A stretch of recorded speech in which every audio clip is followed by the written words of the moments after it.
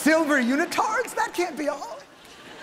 You have to give Barack Obama credit. He has overcome a great deal. Not just he is an African American, Barack Hussein Obama is his name. His middle name is the last name of Iraq's former tyrant. His last name rhymes with Osama. That's not easy to overcome. I think we all remember the ill fated 1944 presidential campaign of Gadolf Titler. yeah. It's such a shame. Titler had so many good ideas. It just couldn't get past the name and the mustache. But are you ready to have a wonderful show, ladies and gentlemen, and welcome back to this town? I'm delighted that you're here. We're to have a great night. And it's time for our first presenter. By the way, this is probably a good time to mention this is the environmentally conscious Green Oscars. So tonight, all of our presenters will be walking all the way to the microphones. Please welcome Jennifer Garner.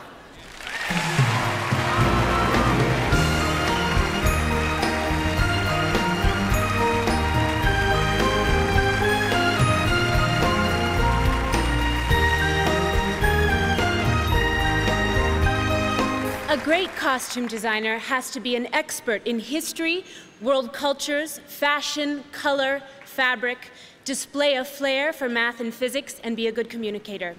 And one more thing, you need to be really quick with a pair of scissors.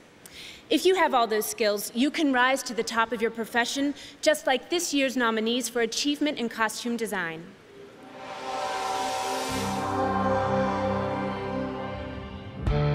Across the Universe, costume design by Albert Wolsky. Atonement, costume design by Jacqueline Durran. Elizabeth, The Golden Age, costume design by Alexandra Byrne. La Vie en Rose, costume design by Marit Allen. Sweeney Todd, The Demon Barber of Fleet Street, costume design by Colleen Atwood. And the first Oscar of the evening goes to Alexandra Byrne for Elizabeth the Golden Age.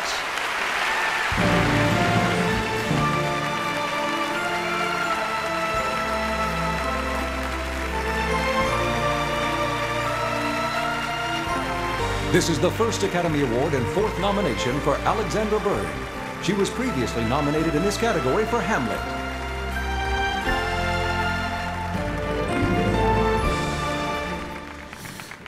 Wow. Um, thank you to the Academy. Thank you to Working Title and Universal, to Shekhar and to Kate. And a huge thank you to my brilliant team and to my family. Thank you.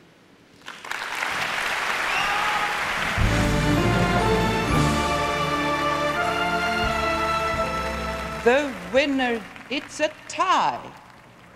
A tie? Katharine Hepburn. There were five great performances. I mean, I thought mine was pretty good. Great, I wouldn't say, but good, you know, pretty good.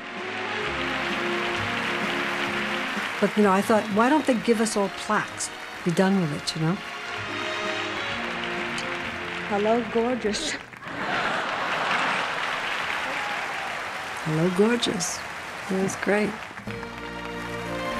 The 80th Academy Awards will be right back with Steve Carell, Anne Hathaway, and George Clooney here on ABC.